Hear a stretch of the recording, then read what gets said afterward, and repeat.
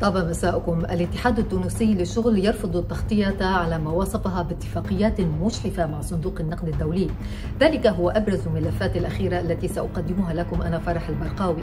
ونناقش فيه دوافع هذا الموقف وتأثيراته على الوضع الاقتصادي وعلى مسار الأزمة السياسية في البلاد. ومن تونس نتحول إلى بروكسل لنستطلع آفاق التصريحات التي أدلت بها رئيسة المفوضية الأوروبية بشأن تسريع انضمام أوكرانيا إلى الاتحاد الأوروبي. الفلسطين ونبحث في الأخيرة كذلك ما دار في محادثات قوى الحرية والتغيير السودانية مع ممثلي الآلية الثلاثية. ونعرج أيضا على ملفات أخرى في مناطق متفرقة من العالم. الأخيرة مشاهدينا تأتيكم على شاشة التلفزيون العربي في تمام الساعة الحادية عشرة بتوقيت القدس الثامنة بتوقيت جرينتش ويمكنكم متابعتنا عبر البث الحي في اليوتيوب. كونوا معنا.